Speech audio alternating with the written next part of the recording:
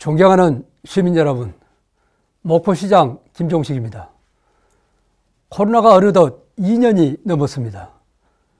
그동안 고통과 불편을 감내하시는 시민 여러분께 위로의 말씀을 드립니다. 목포는 올해 들어 급속도로 확산된 오미크론 바이러스에 많은 시민이 연일 감염되면서 비상 상황이 계속되고 있습니다. 이로 인해 영업시간이 제한되고 소비 심리가 위축되면서 소상공인과 자영업자의 매출이 급격히 하락하는 등 지역 경제가 큰 위협을 받고 있습니다. 우리 시는 지역 경제 활성화를 위해 전 시민을 대상으로 올해 제2차 재난지원금을 지급하였지만 소상공인과 자영업자의 위기 극복에는 부족한 상황입니다. 이에 우리 시는 소상공인 자영업자분들의 고통을 위로하고 소상공인연합회 상점과 전통시장 상인회 등의 강곡한 재난지원금 지급 요청을 수렴해서 소상공인들의 일상회복 지원금 지급을 결정했습니다.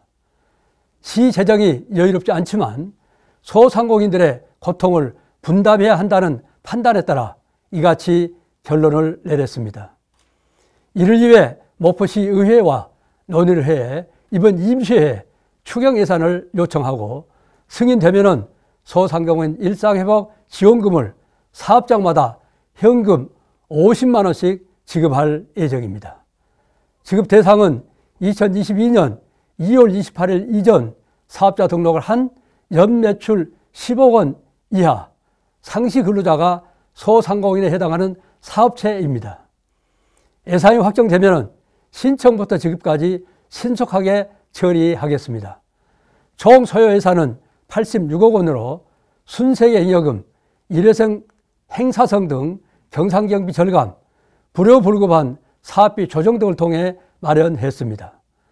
소상공인들의 일상회복지원금 지급에 적극적으로 협조해 주시는 목포시의회 박창수 의장님을 비롯한 시의원님들께 깊은 감사의 말씀을 드립니다. 존경하는 시민 여러분, 그리고 소상공인 여러분, 소상공인 일상회복 지원금이 오랫동안 고통을 감내하고 계시는 소상공인 및 자영업자 여러분들께 작은 도움이 되기를 희망합니다. 코로나 상황이 마무리되는 그날까지 힘과 지혜를 모아주시기를 당부드립니다. 감사합니다.